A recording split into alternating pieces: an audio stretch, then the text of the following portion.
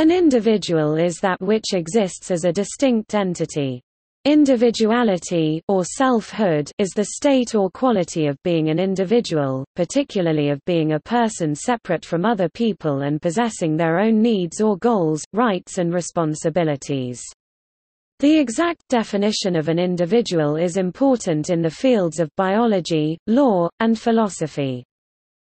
From the 15th century and earlier and also today within the fields of statistics and metaphysics individual meant indivisible, typically describing any numerically singular thing, but sometimes meaning a person. From the 17th century on, individual indicates separateness, as in individualism, although individuality and individualism are commonly considered to mature with age, time and experience. Wealth, a sane adult human being is usually considered by the state as an individual person in law, even if the person denies individual culpability. I followed instructions. An individual person is accountable for their actions, decisions, instructions, subject to prosecution in both national and international law, from the time that they have reached age of majority, often though not always more or less coinciding with the granting of voting rights, tax and military duties, individual right to bear arms protected only under certain constitutions. In line with hierarchy, ultimate individual human reward for success and responsibility for failure is nonetheless found at the top of human society.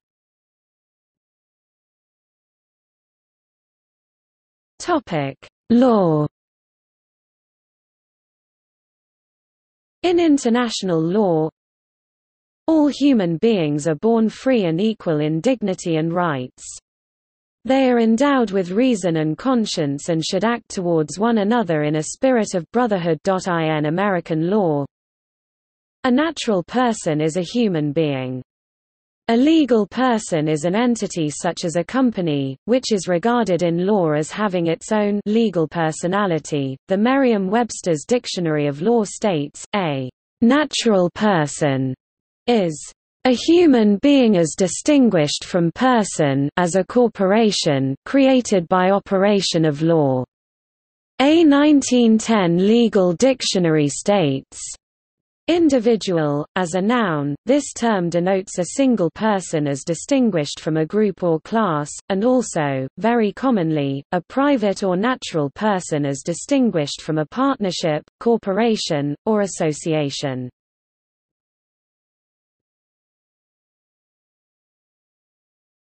Topic: Philosophy.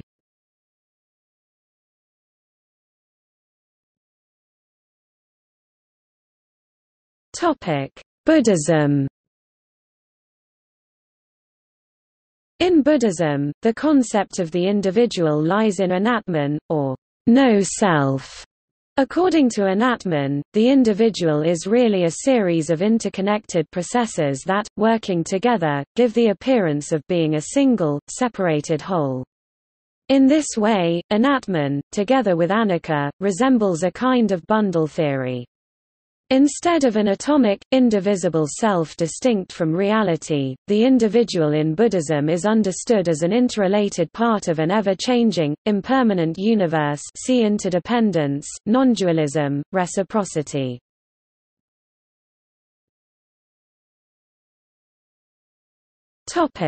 Empiricism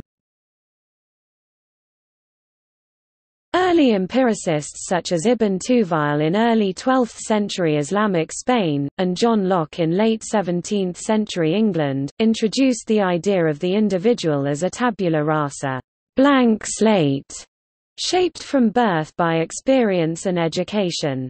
This ties into the idea of the liberty and rights of the individual, society as a social contract between rational individuals, and the beginnings of individualism as a doctrine.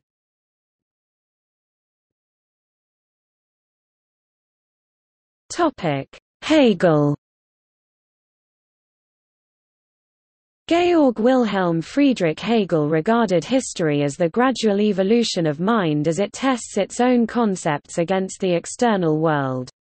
Each time the mind applies its concepts to the world, the concept is revealed to be only partly true, within a certain context, thus the mind continually revises these incomplete concepts so as to reflect a fuller reality commonly known as the process of thesis, antithesis, and synthesis.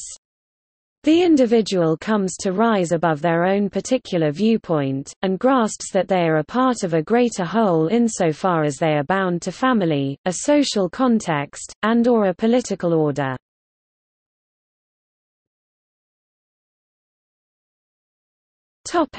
Existentialism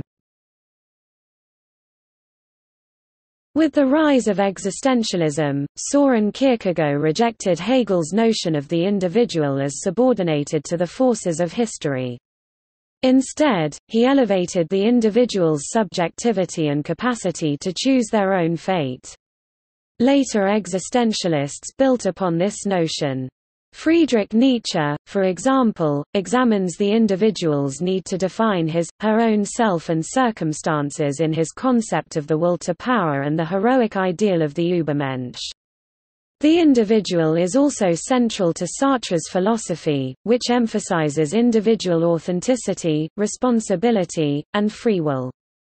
In both Sartre and Nietzsche and in Nikolai Berdyaev, the individual is called upon to create their own values, rather than rely on external, socially imposed codes of morality.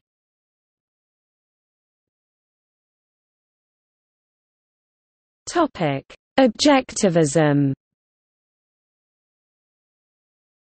Ayn Rand's objectivism regards every human as an independent, sovereign entity who possesses an inalienable right to their own life, a right derived from their nature as a rational being. Individualism and objectivism hold that a civilized society, or any form of association, cooperation or peaceful coexistence among humans, can be achieved only on the basis of the recognition of individual rights, and that a group, as such, has no rights other than the individual rights of its members. The principle of individual rights is the only moral base of all groups or associations. Since only an individual man or woman can possess rights, the expression, individual rights, is a redundancy which one has to use for purposes of clarification in today's intellectual chaos, but the expression, Collective rights is a contradiction in terms. Individual rights are not subject to a public vote, a majority has no right to vote away the rights of a minority. The political function of rights is precisely to protect minorities from oppression by majorities, and the smallest minority on earth is the individual.